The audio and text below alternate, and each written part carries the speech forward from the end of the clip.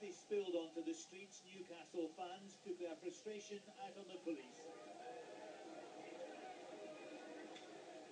There were numerous arrests and mounted